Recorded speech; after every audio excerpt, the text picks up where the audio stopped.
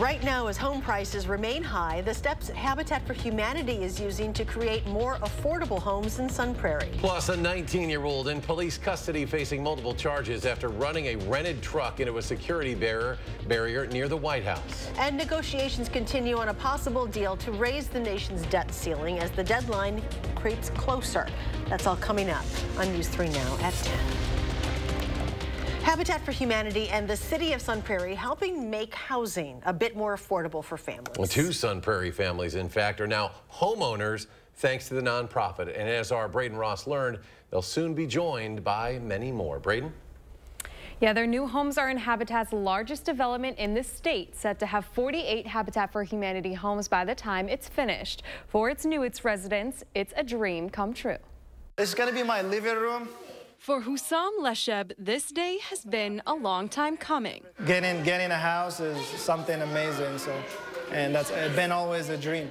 He came to the U.S. from Algeria nine years ago, and his wife followed a few years later. They've dreamt of owning a house for years, and now, thanks to Habitat for Humanity, they do. Uh, it's, it's a big of deal because, you know, owning a house, it's it's an investment for the future. Their new home is in Sun Prairie, in Habitat's largest development in the state. Sun Prairie's just been a great partner when it comes to affordable housing. When it's finished, the 62 acre Town Hall Crossing community will have 118 single family homes, 40% of them going to Habitat families. Mayor Paul Esser says it's part of the city's commitment to making living in Sun Prairie a little more accessible. We're building a lot of housing in Sun Prairie, but a lot of that housing that's being built is pretty high income housing, so it's not available to everybody. Esser says Habitat houses are about more than just giving families a place to live, but also thrive. They'll put roots down in the community, and we know that when children are in a stable housing setting, they do better in school. So this is a win all the way around. That's what Habitat is really trying to do is give these children and these families uh, a a stable place to study, to come back to after work and not have to worry about what's going on next door or when their lease is going to expire and where do they go next. For Lashab, that rings true. A very decent, you know, backyard that my daughter can play, uh, doing barbecue, inviting some friends and families. Um, it's going to be a great now, the next round of applications for Habitat in Dane County is coming up this fall. You can find all the information on how to apply or support on their website at habitatdane.org. Two people are displaced after a house fire in Madison this afternoon. It happened on the 5400 block of Trempealeau Trail. Madison Fire was contacted after someone reported seeing smoke coming out of their house by the garage. Crews were able to put out the fire and no one was injured. The house had major damage and the cause of the fire is under investigation. For the first time in two years, an effort to transform the Alliant Energy Center is being revisited. A committee plans to work toward upgrading the spaces that house concerts, shows, and other major events in Madison. The redevelopment committee's goals were put on hold back in 2021 due to COVID. Early discussions about the project included possible improvements to all parts of the property, including the Coliseum. It just underscores the, you know, the beauty of this location. There are surrounding neighbor neighborhoods um, that are really critical to what's going on here as well. And so one thing we hope to do, are would, I would like to see is, you know, more open space, you know, for nearby residents so that they can enjoy the space as well. The committee plans to meet bi-monthly, and we're told that there will be more set uh, architectural plans in 2025. Let's turn now to your first warn forecast with Julian Seawright. Well, we're still waiting to see how much longer we're going to have this air quality advisory in effect for Wisconsin. It's going to be until about 11 p.m., but we could potentially see this be an issue once again heading into our Wednesdays. One thing to watch for as we are still dealing with wildfire smoke from the Canadian fires that have been plaguing much of the upper Midwest over the last several days. But outside of that, we are looking for things to stay rather mild, but also get comfortable as we get into the rest of tonight. Right now, it's quiet, but it's 63 degrees, and we're going to continue to fall into those 50s as we head into the overnight hours into our early Wednesday morning. Now, wind speeds themselves are going to stay calm, but they will pick up as we head into tomorrow. Tonight, we're looking for a low of 55 degrees at Madison, 56 in Janesville, and about 59 degrees for Platteville. But as we slide for tomorrow, temperatures are also going to stay rather cool. We're looking at 66 degrees for us here in Madison, 71 for Janesville, and 73 for Platteville. Now, take note, areas that are closer to Lake Michigan are going to be even cooler as they're holding into the 50s throughout the course of the day. For us here in Madison, we're going to get a nice stretch of that lake breeze, which will keep us in the middle 60s. But areas just to the south and southwest are going to be cooler, but still into the milder side with the lower 70s because the winds are just not going to be impacting them as much as it will for us. But that's just for tomorrow. We're also looking for another brief period heading into our Thursday. But we're going to be timing out the when we're going to see the warmer temperatures in a few moments. Until then, over to you. Julian, thank you. The man accused of fatally killing a person in a hit and run on Madison's northeast side Saturday night was in court this afternoon. Anthony Moore charged with one count of homicide by intoxicated use of a vehicle and another charge of hit and run involving death. In a criminal complaint, Moore said he never hit the brakes before striking and killing the pedestrian. Cash bond set at $100,000. If posted, Moore will be subject to remote alcohol monitoring and random drug testing as conditions of his bail. The victim, who was killed in the incident Saturday night, was also identified today as 40-year-old Nicole McDougal of Madison. The death remains under investigation. The Dane County Medical Examiner's Office has identified the person who was shot and killed early Sunday on Madison's east side. 32-year-old Raheem Blue of Madison pronounced dead at a local hospital. Police say Blue was found with gunshot wounds at Lush in the 3700 block of East Washington. A bystander reported seeing a large group of people near the area and heard later that an argument had broken out. Police have not announced any arrests in connection with that shooting. The man charged with fatally shooting another man outside a bar in Madison earlier this month has been bound over for trial. 23-year-old Caleb DiMaggio is charged with one count of first-degree intentional homicide in the May 5th shooting outside the Badger Tavern. During a preliminary hearing today, the court found probable cause that DiMaggio committed a felony and assigned the case to a judge. Online records do not list a future court date yet. A Madison man is arrested after a series of copper thefts from construction sites in the city. Brad Wells was arrested last Wednesday when police allegedly caught him holding a spool of copper wire. When confronted, Wells reportedly told officers he had found the copper wire abandoned by a dumpster and that he had never been to the area. Online court records show Wells faces 13 charges, five felonies, and eight misdemeanors, ranging from burglary to bail jumping. The handler of a Monroe County Sheriff's Office canine who died after suffering a heat-related injury earlier this month has resigned from the agency. Canine Colt died on May 15th after suffering the unspecified injury May 10th. He'd been with the sheriff's office since 2018. The detective, who was Colt's handler, was previously put on administrative leave. The sheriff's office has opened an investigation into the dog's death. New information about the U-Haul truck crash near the White House. The driver is in custody and facing multiple charges. We now know that crash is being investigated as a potentially intentional incident. Jen Sullivan has a closer look at why those new details are painting a disturbing image of the suspect's intentions. Disturbing new details surfacing about this crash. About 200 yards away from the White House. Monday night, a driver ramming a U-Haul truck into a security barrier twice. That's a major threat. And we have to assume that the back of that truck was full of explosives. Luckily, it wasn't. U.S. Park Police released some details about the man behind the wheel. He's been identified as 19-year-old Sai Varshith Kundula, who exited the truck with a Nazi flag on him. According to court documents, the suspect told officers he wanted to kidnap and harm President Joe Biden.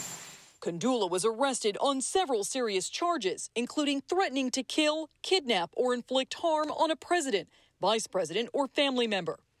Inside the 26 foot moving truck, investigators did find a black backpack, a notebook, and a roll of duct tape. They did find a notebook of some kind in the truck with a, a lot of writings, it was described to me as rambling. Several roads in the area were closed off, and the nearby Hay Adams Hotel was briefly evacuated. The Secret Service says there were no injuries. President Biden was in D.C. Monday meeting with House Speaker Kevin McCarthy to discuss the debt ceiling. He's relieved that no one was injured last night and grateful to the agents and the law enforcement. Experts say the response was appropriate and effective as Park Police, Secret Service, and the FBI are working together to figure out the motive. They're all working on this and they will get to the bottom of it. Jen Sullivan, News 3 Now. The White House has not said whether any security measures were implemented during the incident. Park police say Kundula is also facing charges of assault with a dangerous weapon, reckless operation of a motor vehicle, destruction of federal property, and trespassing. White House negotiators arrived on Capitol Hill to resume debt limit talks, but the two sides still appear far apart. The White House is offering to keep government spending at current levels for the next two years, but Republicans want to cut spending even more and keep those lower levels for at least the next six years. The only exception, defense spending, which they want to increase. Based on what Republicans have shown us with their appropriations bills, we are looking at a 30% cut across the board to the remaining domestic programs. Well, this administration is willing to recognize that they are having record spending, record deficits, and record taxes, then we're not going to be able to come together. If a deal is reached, the House must have the bill a full 72 hours before a vote. That provision was a condition of Kevin McCarthy's election as House Speaker. Economists warn that defaulting could result in lowered credit ratings for America, which means everyone will be paying higher interest rates potentially forever. A trial date for the New York criminal case against former President Donald Trump has been set now for March 25th of next year. The announcement came during a brief hearing today. The judge also read Trump an order on what he can and cannot say publicly about the case. Trump appeared remotely via video feed so the judge could communicate with him in open court. The former president spoke only once to say that he did have a copy of the protective order, which limits what he can post on social media. Last month, Trump pleaded not guilty to 34 felony counts of falsifying business records with the intent to conceal illegal conduct connected to his 2016 presidential campaign. Meanwhile, Florida Governor Ron DeSantis, who many believe is Trump's biggest opponent for the Republican nomination, will announce his 2024 presidential campaign intentions tomorrow night on Twitter. According to a spokesperson for his political team, that announcement will happen during an online conversation with Twitter owner Elon Musk. DeSantis is expected to file the formal paperwork for his candidacy this week and then have a kickoff event in his hometown of Dunedin, Florida next week. More ahead on News 3 Now at 10, including Julian's complete forecast. But first, there's a brand new attraction opening at Wisconsin Dells just in time for the summer. We'll tell you what separates this water slide from the rest of them.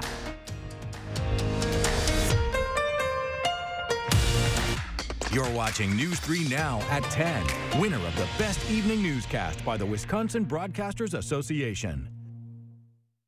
Since group started in the 80s, we've been cheering on the true champions of Milwaukee, you and yours. We've been on this path together for 35 plus years. We've had your back from the jump. Let's keep rising together. One call, that's all.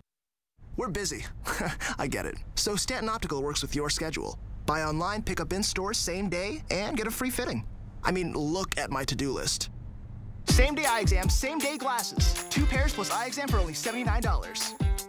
Get 11% off everything now at Menards. Find your style with Patriot Lighting and give your home a brighter, updated look. The Kenzie Collection adds style to any living space. Get the Kenzie Ceiling Light for only $39.95 after rebate. Or check out the Ashton Collection and give your home a coordinated theme. Add light to any kitchen, dinner room, or living space with the perfect look. Get these Ashton wall lights for just $39.95 each after 11% rebate. Save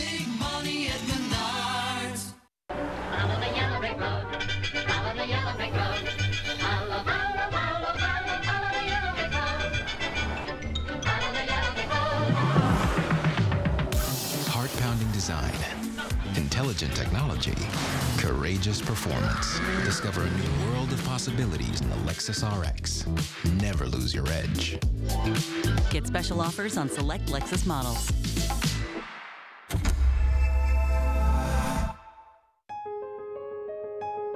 Spring into action and save on stressless seating at the Century House. Now get $400 off all classic power recliners, signature base recliners and ottomans, and cross base recliners and ottomans. And get $400 off most sofas and love seats. Imagine how much you can save building your dream sectional.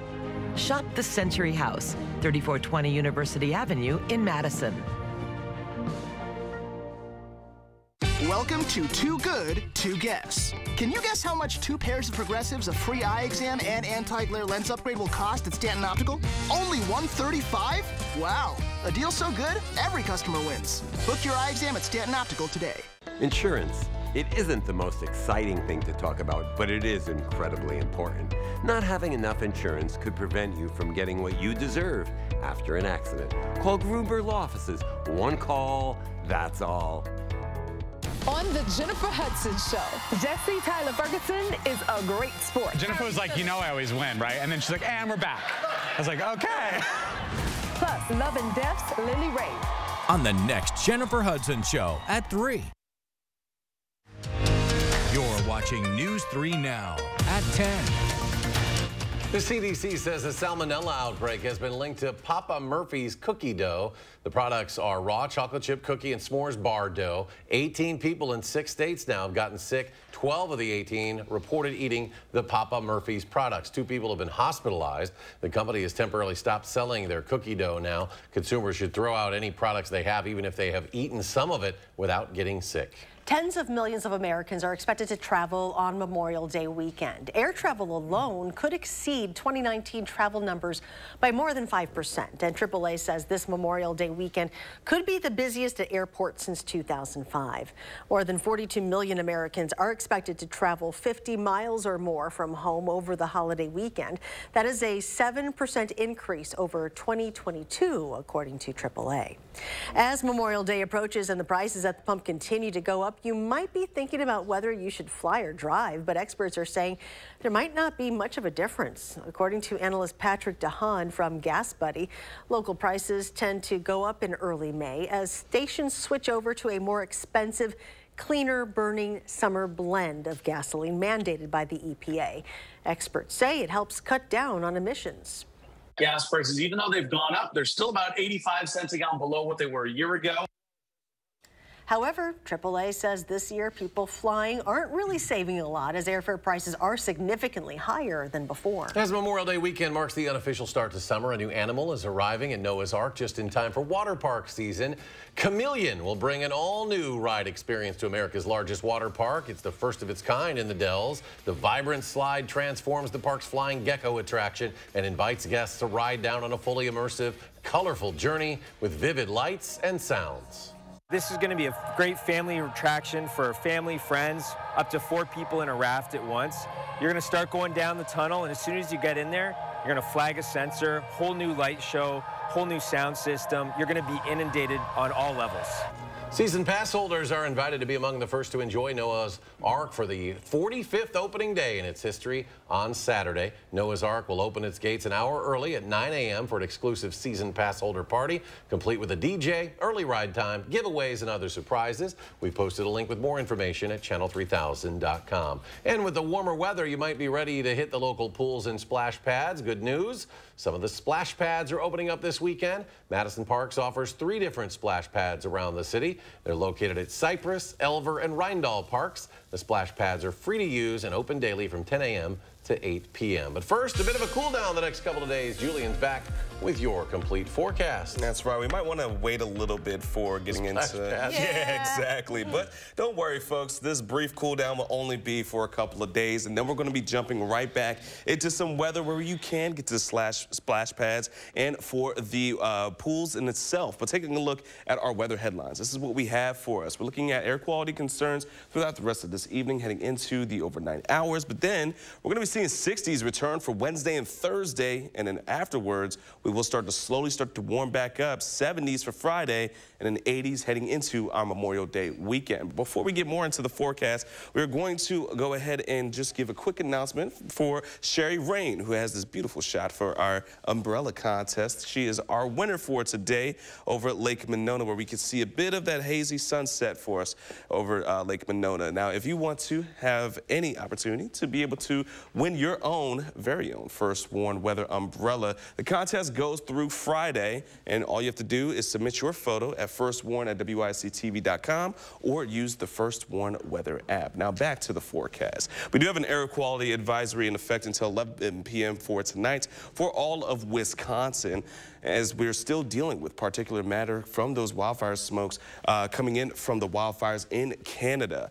Now, as we take a look for tonight in terms of conditions, well, clear skies is what we're really going to be expecting, but overnight, partly cloudy skies will build for us here in Madison as temperatures hold into the middle 50s. For tomorrow, it's going to be a completely different story for us outside of what it has been for today and even yesterday. We're looking for highs in the mid 60s for around Madison, but take note to the southwest, we're going to be dealing with a bit more milder temperatures into the lower 70s from Prairie du Chien and Platteville, but for Janesville, around 71 and a further or the closer you are to Lake Michigan, this is where you're going to be expecting to see temperatures into the 50s heading into tomorrow. So what's bringing in that cooler air? Well, it's that backdoor cold front. Northeasterly uh, winds are going to be shifting, bringing in the cooler air off of Lake Michigan throughout southern Wisconsin.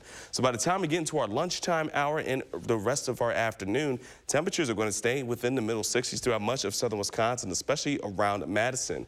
The only areas which won't be truly as impacted as the areas to the east is mainly the southwest, which will be holding into those 70s.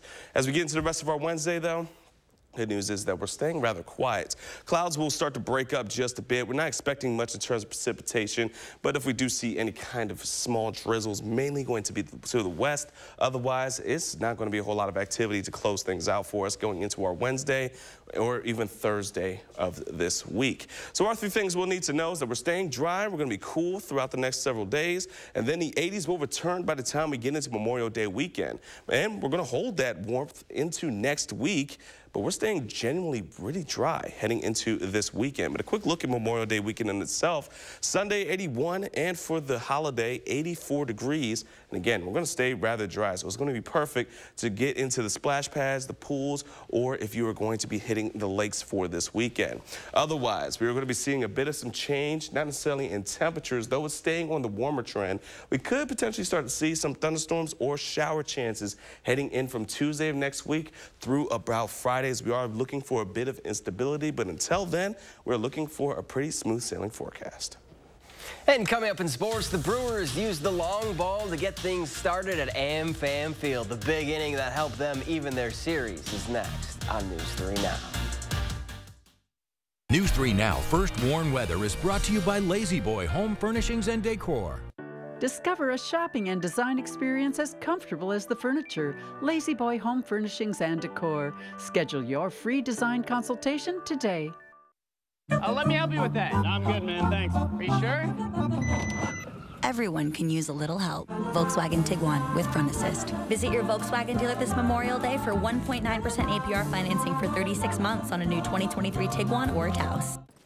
As a veteran of our country's armed services, you have already made the ultimate sacrifice. Why should you have to continue to do that? Through no fault of your own, you may be experiencing hardships, such as the inability to pay rent, utilities, or receive other life sustaining services. And once again, you're called upon by your family to serve and protect. We want you to know we are here to support you.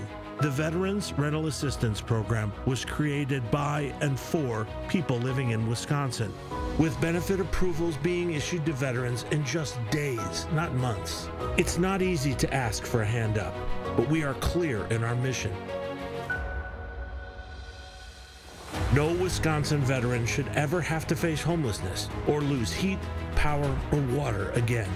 833 WIS VRAP. That's 833 947 8727.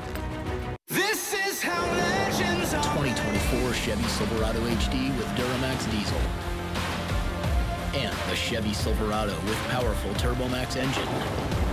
No matter what route you take, there's a Chevy truck to get you there. Find new roads. Get 1.9% financing on all 2023 Silverado 1500 LT TurboMax pickups, or current Chevy owners get 5250 total cash allowance when you trade in an eligible vehicle. Chevrolet, the number one selling brand in Wisconsin. Thank you so much for picking up. When you really desperately need to talk to your insurance company, when you're having one of the worst days of your life. What do people do at a time like this? I... Sometimes you just want to talk to someone, a person, not a robot or a recording or an app. Oh, sure, we have all that stuff. By Friday. But on a day like that, just like that, that phone line can end up feeling like a lifeline. Thank you so much for listening. At a time like that, you want a company like West Bend because the worst brings out our best. It is, you're ready for it. Your newly purchased defenses, top of the line. Your backup, backing up. Yeah, you've got this. Just like Associated Bank's got you with Access Checking. It's maintenance fee free with no minimum balance requirements. So if your new house still has some old tenants, we'll make sure your checking account won't be giving you any surprises. You've got this with Associated Bank. Why the two extra seats? I know, Uncle Dane and his giant beard. The Volkswagen Atlas with best-in-class third-row legroom. Get 3.9% APR financing for 60 months on new 2023 Atlas Family SE Tech with 4Motion models. Limited inventory available.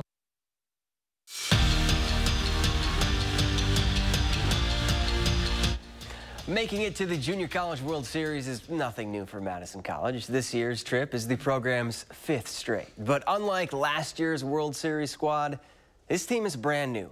25 out of the 30 guys have never been there. And that's the challenge facing Mike Davenport, preparing a group of freshmen for the big stage. But after closing the season with 12 straight wins, his freshmen aren't playing like freshmen anymore freshmen are told that when you walk in here, we need you to be sophomores by tournament time. So let's try to learn as much as we can so we don't have to wait till next fall to figure out the things that we need to know when it really matters this year. It's going to be a little bit different than last year. We're all going to kind of be big-eyed on the first day, looking at all those new teams, you know, new stadium, all that good stuff. But hopefully we can just play our game and compete at our highest level. Brewers looking to even their series with the Astros. No score in the third. Joey Wiemer makes the ball go wee in the tune of a solo shot. His fifth of the year puts the crew up 1-0. Then they'd blow this one open in the eighth. The hometown kid, Owen Miller, tattoos a two-run bomb to the second deck. Brewers scored four in the eighth, go on to win 6-0 the final. Today was day two of the voluntary OTAs for the Packers, and even though the guys are just in shorts instead of pads, Getting to this phase in the offseason means training camp is almost right around the corner. During this phase, there's still a lot of installs, so the new guys can learn the system, which is why most of the vets don't attend. Jordan Love, though, was there, and even though it's his first year as a starting QB, Matt LaFleur doesn't view him as one of the new guys. Not like he's a true rookie. Um, so he's seen he's seen a decent amount, especially being able to, you know, getting the majority of the snaps this time of the year, uh, the last couple years. So um, we're not necessarily coddling him in, in any sense of the word of that. Uh, just in terms of we're we're just installing our plays and whatever the defense presents. I mean, he's got to react. Athlon Sports released their preseason All Big Ten teams, and a couple of Badgers found themselves on the all-conference squads for the upcoming season. Braylon Allen was the lone Wisconsin representative on the first team, while Chimere Dike, Jack Nelson, and Maema Njongmeta were all second-teamers. Badgers kick off their season in 102 days when they host Buffalo. And the Celtics kept their season alive, winning Game 4 against the Heat in the Eastern Conference Finals. Miami still leads the series, though, 3 to 1. We're back after. This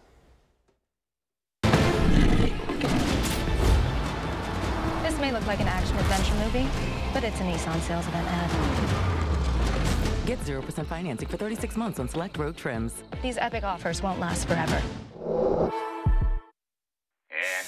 Get up to 50% off list prices on hundreds of items at the huge memorial sale at Slumberland Furniture. Incredible deals, like this recliner, free when you purchase the reclining sofa, or these incredible beds, both at our lowest price ever, or this beefy recliner marked way down. How about a La-Z-Boy recliner as low as 375? Or 499 gets you a Sealy Posturepedic mattress. Plus, we'll throw in a seven-piece bedding bundle free, up to 50% off at the huge memorial sale at Slumberland Furniture. Do not miss this one.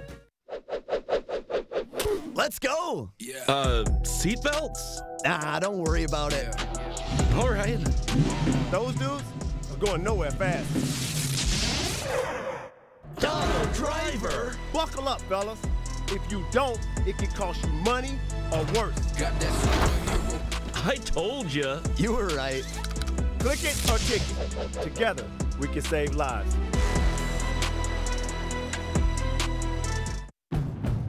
Ruggability. We straight made that word up. How else to describe the otherwise indescribable, rugged, capable, incredible versatility and affordability of a Honda SUV? Kelley Blue Book's KBB.com calls Honda the best value brand. Car and Driver calls Honda the winningest brand in 10 best history. But we like ruggability, and you'll like the incredifantabulous deals, so see your Wisconsin Heartland Honda dealer today. Honda gets Wisconsin. We went to Ho Chunk Gaming Madison last night. I don't really get how the jackpots work. Ho Chunk Gaming Madison actually has had multiple million dollar winners. There are linked progressive slot machines at the same casino where local players increase the jackpot amount. And a standalone progressive jackpot increases when a player plays on an individual machine that isn't linked to any other machine. Ho Chunk Gaming Madison. More ways to win. Find your perfect jackpot. Ho Chunk Gaming Madison.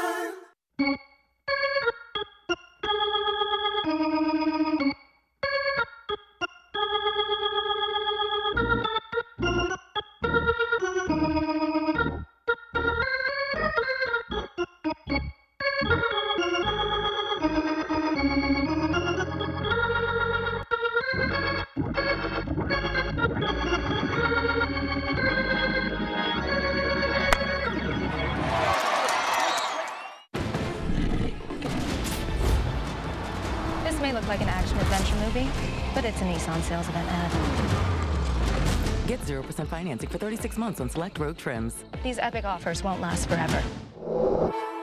Tips to help you keep tabs on your service fees. Wednesday at 6. Finally tonight, a Florida man finds an unwelcomed guest in his toilet, of all places. Good mm-hmm. lord. Now say hello. it happened Friday when John Riddle noticed the bathroom door off his pool deck was still open, so when he went to close it, he saw an iguana sitting in the toilet. Riddle says when the iguana went deeper into the toilet, he grabbed a nearby baby gate to keep it from sneaking out and running into his bedroom. Eventually, the lizard crawled out and dove into Riddle's pool before taking off into the backyard. Uh. Riddle says the iguana was not hurt and he hopes to never see it again. Just another day in Florida. Know, Right? right? Crazy things in the toilet and the pool. Oh, man.